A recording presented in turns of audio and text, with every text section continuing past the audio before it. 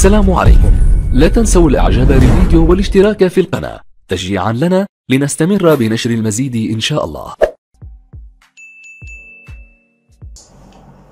السلام عليكم ورحمة الله وبركاته. تحياتي لكم أخواني.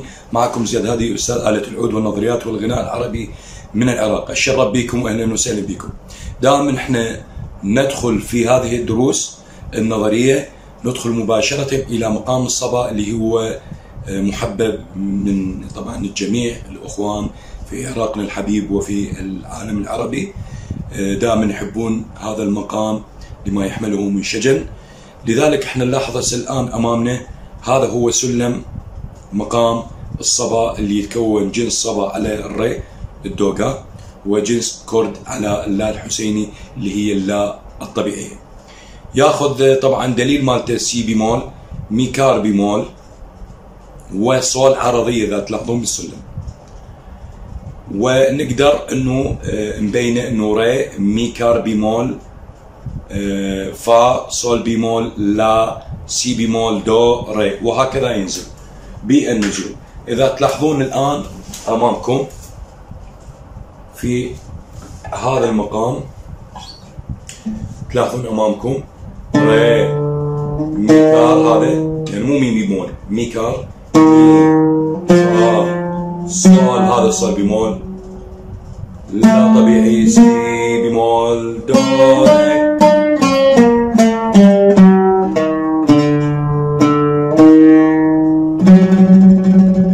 شوف أنا هسه تلاحظ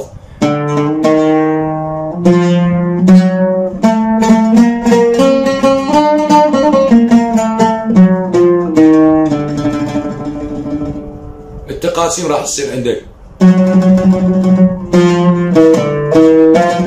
نقراها صولفيج صول طبعا صول بيمول صول فا مي ري مي فا مي ري دو ري مي ري صول فا مي مي ري ري هذا يسمونه دولاب صبا صول فا مي ري مي فا مي ري دو ري مي ري صول فا مي مي ري اس وراها تاخذ ورا هو اس وراها إيش راح تاخذ؟ صفا مي فا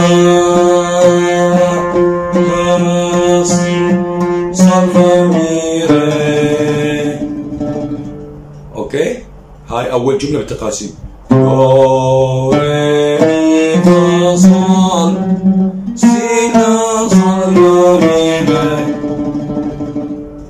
وممكن تكمل.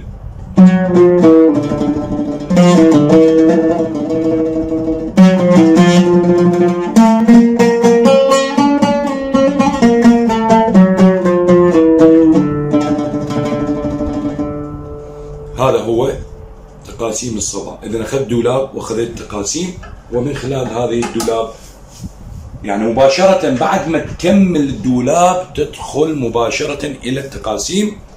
وبالتالي راح تكون عندك جملة متكاملة بعملية عزف مقام الصبا أتمنى أنه استفادتوا وننتظركم باشتراك بالدورات الموسيقية الأونلاين ورقم ال ال الواتساب موجود أسفل الفيديو هذا.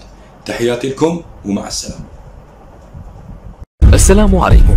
لا تنسوا الإعجاب بالفيديو والاشتراك في القناة. تشجيعا لنا لنستمر بنشر المزيد إن شاء الله.